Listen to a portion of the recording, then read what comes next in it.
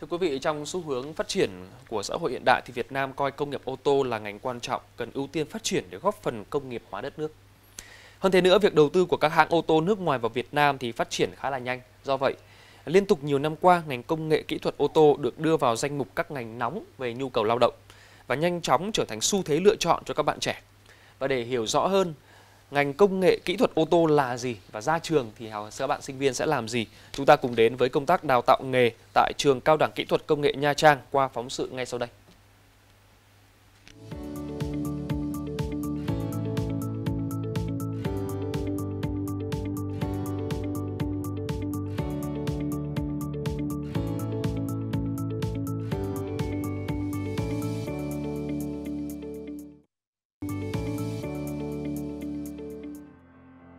Công nghệ ô tô là ngành học tích hợp kiến thức của nhiều lĩnh vực, cơ khí, tự động hóa, điện điện tử và công nghệ chế tạo máy, chuyên về khai thác, sử dụng và quản lý dịch vụ kỹ thuật ô tô như điều hành sản xuất phụ tùng, lắp ráp, cải tiến, nâng cao hiệu quả sử dụng.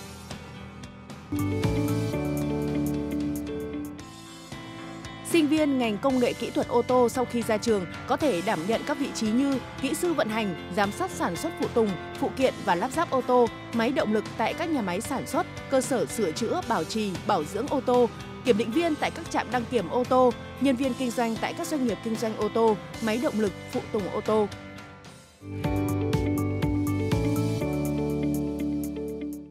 Quý vị và các bạn thân mến, ngày nay thì ai cũng mong muốn sở hữu cho mình một chiếc ô tô để đi lại. Vì vậy mà số lượng à, ô tô cũng như là nhu cầu sản xuất, bảo dưỡng ngày càng tăng.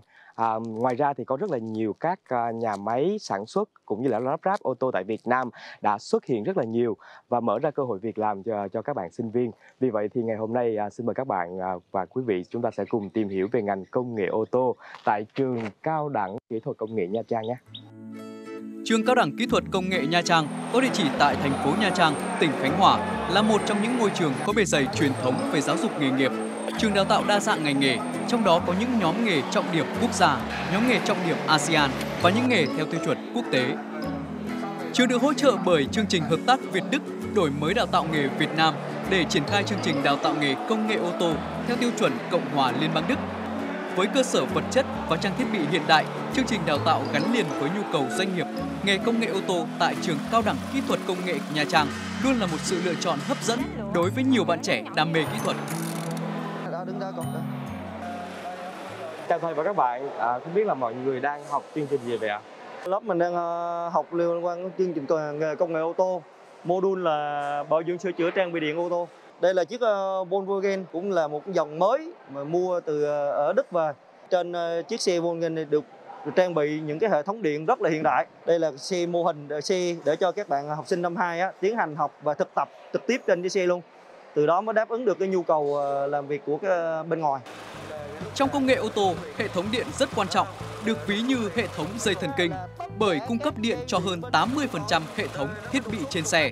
Trong nội dung điện ô tô, các bạn học sinh, sinh viên được học và thực hành khá kỹ về bộ phận ắc quy, bởi đây là bộ phận tích trữ và cung cấp nguồn điện trên ô tô.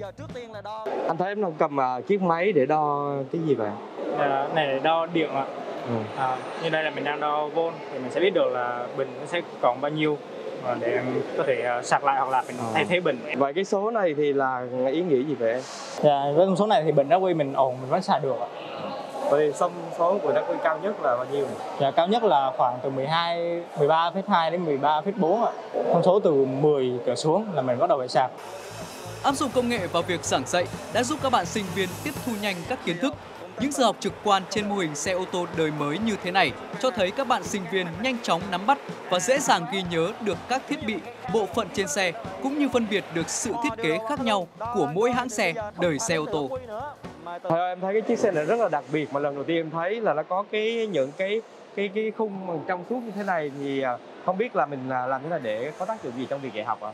Ở đây thì xưởng Ờ, chủ động là cắt hết tất cả những cái mô hình tại vì đây để cho người học á, thấy toàn bộ cấu tạo bên trong. Khi mà ở đây mình giảng dạy xong rồi mình bật chế độ hoạt động năng hệ kiến thì ở đây motor điều khiển nó hoạt động là người học có thể nhìn vô rất là trực quan. Thì ở đây tất cả hầu như những cái chiếc xe á, thì đều phải cắt ra những cái mô hình cắt bộ để cho người học là trực quan hơn dễ thấy hơn.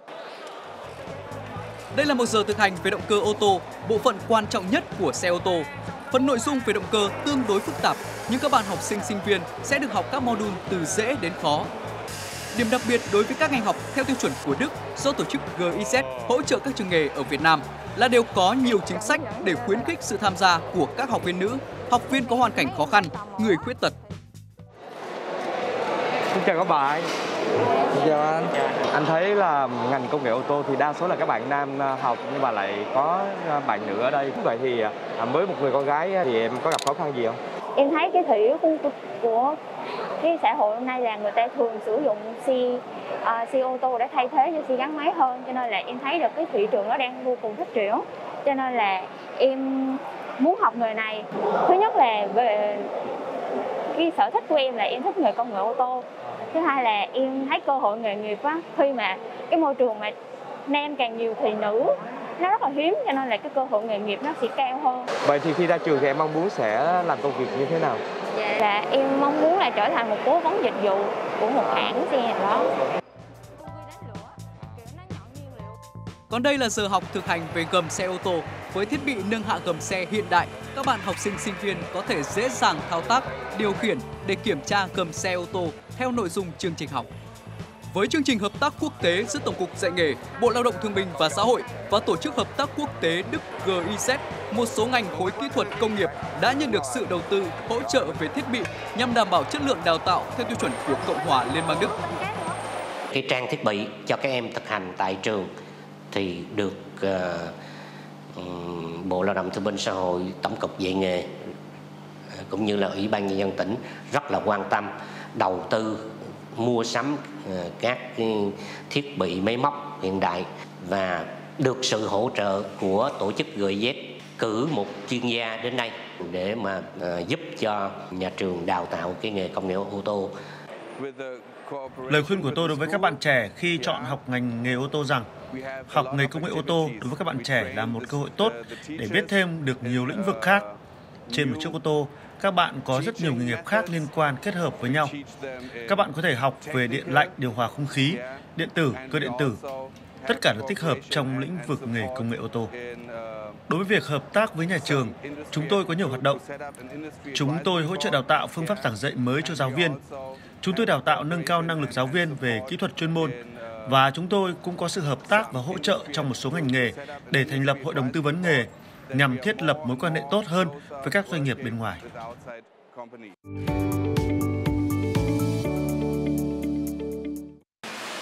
Để nâng cao kỹ năng thực hành cho sinh viên đối với các ngành đào tạo theo tiêu chuẩn Đức, trường cao đẳng kỹ thuật công nghệ Nha Trang đã tăng cường phối hợp với các doanh nghiệp để đưa sinh viên đến thực tập trên các thiết bị công nghệ tiên tiến nhất. Đồng thời, qua thời gian thực tập, làm việc tại doanh nghiệp, học sinh sinh viên có cơ hội thể hiện tay nghề, kỹ năng cũng như bộc lộ những phẩm chất, tố chất cá nhân đáp ứng nhu cầu tuyển dụng của doanh nghiệp. Hai năm đầu các em sẽ được học các cái ờ, môn cơ sở chung của ngành.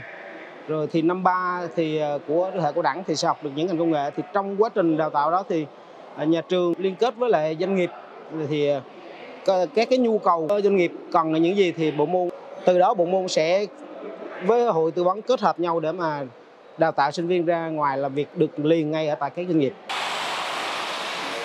Với những kiến thức chuyên ngành cộng với những kỹ năng mềm được đào tạo tại trường, các kỹ thuật viên luôn tự tin thể hiện tay nghề của mình khi bắt đầu công việc cũng như lập nghiệp tại các doanh nghiệp.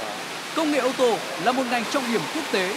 Đây cũng là cơ hội mở rộng cho các bạn trẻ thể hiện sức trẻ để phát triển nghề nghiệp của mình cũng như tạo nguồn thu nhập ổn định cho cuộc sống và sau khi tốt nghiệp thì em cũng được công công ty ừ, nhận vào làm việc tại công ty.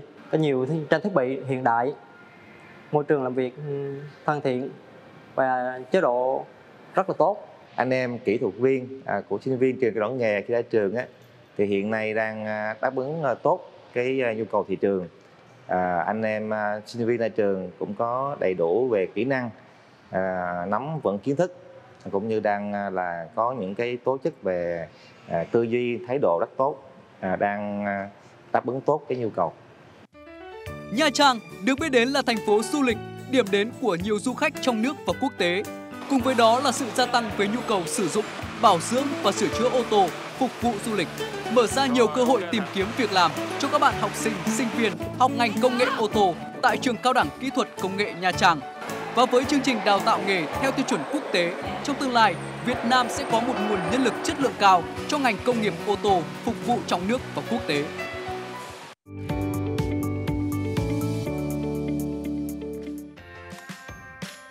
Chương trình đổi mới đào tạo nghề Việt Nam được ủy quyền bởi Bộ Hợp tác Kinh tế và Phát triển Cộng hòa Liên bang Đức BMZ và thực hiện bởi Tổ chức Hợp tác Quốc tế Đức GIZ phối hợp với Tổng cục Giáo dục nghề nghiệp thuộc Bộ Lao động Thương binh và Xã hội.